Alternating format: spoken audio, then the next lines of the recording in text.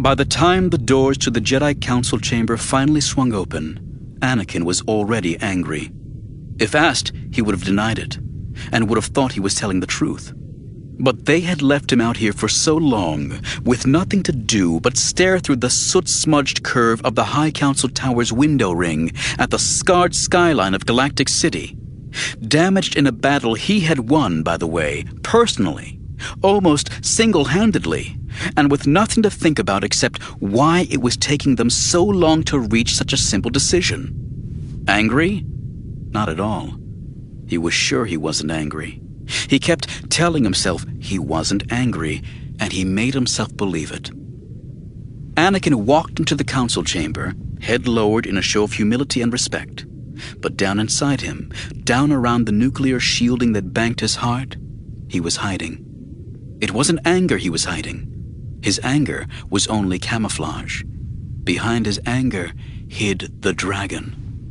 He remembered too well the first time he had entered this chamber, the first time he had stood within a ring of Jedi Masters gathered to sit in judgment upon his fate.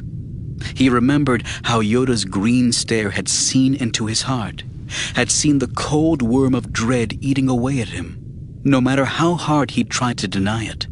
The awful fear he'd felt that he might never see his mother again. He couldn't let them see what that worm had grown into.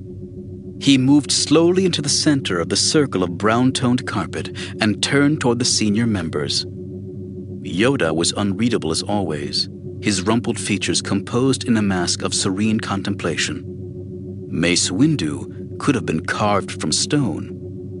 Ghost images of Ki-Adi-Mundi and Plo Koon hovered a centimeter above their council seats, maintained by the seat's internal holoprojectors. Agen Kolar sat alone between the empty chairs belonging to Shaak Ti and Stass Allie. Obi-Wan sat in the chair that once had belonged to Oppo Rancisis, looking pensive, even worried. Anakin Skywalker. Master Windu's tone was so severe that the dragon inside Anakin coiled instinctively.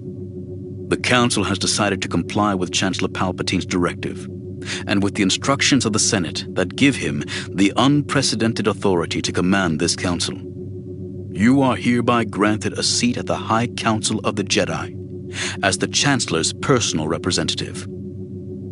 Anakin stood very still for a long moment until he could be absolutely sure he had heard what he thought he'd heard. Palpatine had been right. He seemed to be right about a lot of things these days. In fact, now that Anakin came to think of it, he couldn't remember a single instance when the Supreme Chancellor had been wrong. Finally, as it began to sink in upon him, as he gradually allowed himself to understand that the Council had finally decided to grant him his heart's desire, that they finally had recognized his accomplishments, his dedication, his power, he took a slow, deep breath. Thank you, Masters. You have my pledge that I will uphold the highest principles of the Jedi Order. Allow this appointment lightly. The Council does not. Yoda's ears curled forward at Anakin like accusing fingers. Disturbing is this move by Chancellor Palpatine, on many levels. They have become more concerned with avoiding the oversight of the Senate than they are with winning the war. Anakin inclined his head. I understand.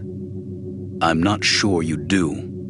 Mace Windu leaned forward, staring into Anakin's eyes with a measuring squint.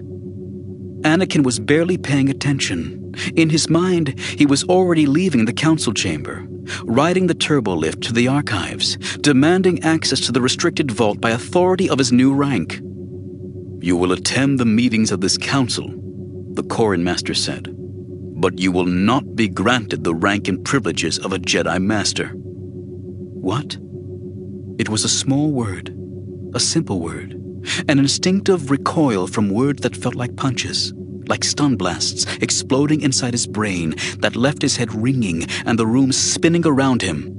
But even to his own ears, the voice that came from his lips didn't sound like his own. It was deeper, darker, clipped and oiled, resonating from the depths of his heart. It didn't sound like him at all, and it smoked with fury. How dare you? How dare you? Anakin stood welded to the floor, motionless. He wasn't even truly aware of speaking. It was as if someone else were using his mouth, and now, finally, he recognized the voice. It sounded like Dooku, but it was not Dooku's voice. It was the voice of Dooku's destroyer. No Jedi in this room can match my power. No Jedi in the galaxy. You think you can deny mastery to me? The Chancellor's representative you are, Yoda said. And it is as his representative you shall attend the council. Sit in this chamber you will, but no vote will you have. The Chancellor's views you shall present, his wishes, his ideas and directives, not your own. Up from the depths of his furnace heart came an answer so far transcending fury that it sounded cold as interstellar space.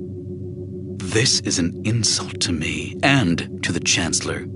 Do not imagine that it will be tolerated. Mace Windu's eyes were as cold as the voice from Anakin's mouth. Take your seat, young Skywalker. Anakin matched his stare. Perhaps I'll take yours.